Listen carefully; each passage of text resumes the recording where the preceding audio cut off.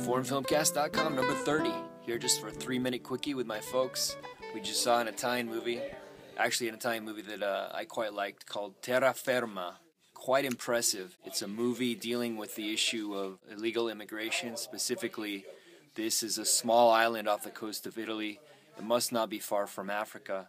It's dealing with this issue on a one to one basis. I recommend the movie. I think it's a powerful movie, and I think it, it, raises a lot of issues that we should think about as people fortunate to live in uh, first world countries. Dad, what did you think of the movie? Same as you. I thought it was powerful. It deals with individual feelings, and it's almost like African desperation meets Italian poverty. That was a very interesting thing that the people that, that rescued these people out of the sea were themselves suffering struggling. want and struggling with life. The soundtrack was fantastic too. I liked the music. The cinematography was very, very good. How about you, Mom? What'd you think? Well, it leaves you thinking a great deal. The world is facing this kind of dilemma everywhere. We face it with the people south of the border in Europe. You don't think of Europe as having to deal with it, but it's when the human aspect comes into play that it makes all the difference. But the countries have a dilemma. It's not a clear cut thing. The sympathies are with the other human being, but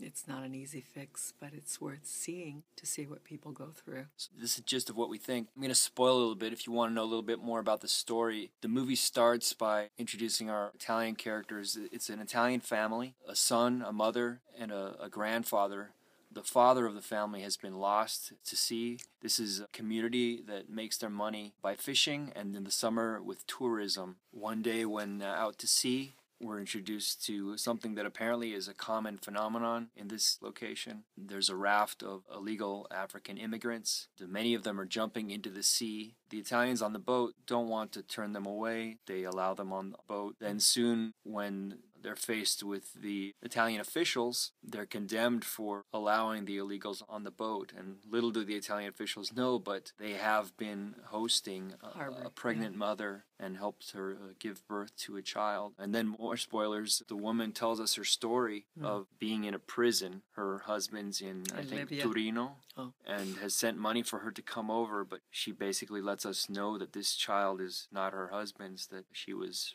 raped, raped by police in, in prison. Mm-hmm. And she's there as well with a smaller son, and the son has very negative feelings toward this baby. Because so it's the guards it's, raped her in front of the child, in front of the boy. So it's a serious and, and dark tale, but I think it's a story worth telling. I do recommend it. It was well done. Well done. Right. a feeling of compassion. Terraferma comes out in a couple of weeks. Check it out.